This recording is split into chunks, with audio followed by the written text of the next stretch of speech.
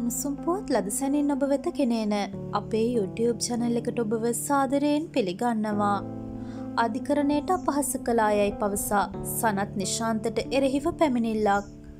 මාධ්‍ය හරහා අධිකරණයට අපහස කලායයි පවසමින් සනත් නිශාන්තට එරෙහිව පැමිණිල්ලක් කිරීමට ඉංජිනේරු තිලක් පට්ටිය කුඹුර මහතා අධදින අපරාධ පරීක්ෂණ දෙපාර්තමේන්තුවට පැමිණියා.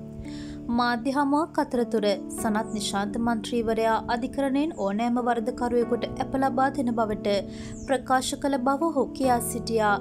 ඇප ලබාදීමේ කාර්ය අධිකරණය වෙනිසුරුවන් සිදු කරන කාර්යක් බවත් එය අධිකරණයක ක්‍රියාවලියක් බවත් එය විවේචනය කිරීම අධිකරණයට අපහස කිරීමක් බවත් මීට පෙර රංචන් රාමනායක මහතාට මෙවැනි ප්‍රකාශයක් කිරීම හේතුවෙන් දඩුවම් විඳීමට සිදු වූ බවත් එම ආකාරයෙන්ම මොහුටත් නීතිය ක්‍රියාත්මක වේ බලාපොරොත්තු වන බවත් තිලක් පට්ටිය කුඹර මහතා ප්‍රකාශ කර සිටියා.